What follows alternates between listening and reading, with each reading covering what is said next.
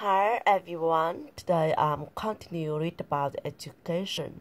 Sure, they had residual decimal the area of a parallelogram, but the concepts are not impossible, and I was firmly convinced that every one of my students could learn the material if they had and long enough after seven more years of teaching, I came to the conclusion that what we need in education is a better understanding of study and learning from a motivational perspective, from a psychological perspective.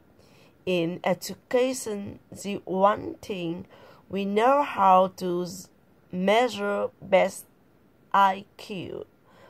But what if doing well in school and in life depends on much more than the ability to learn quickly and easily. Thanks for listening.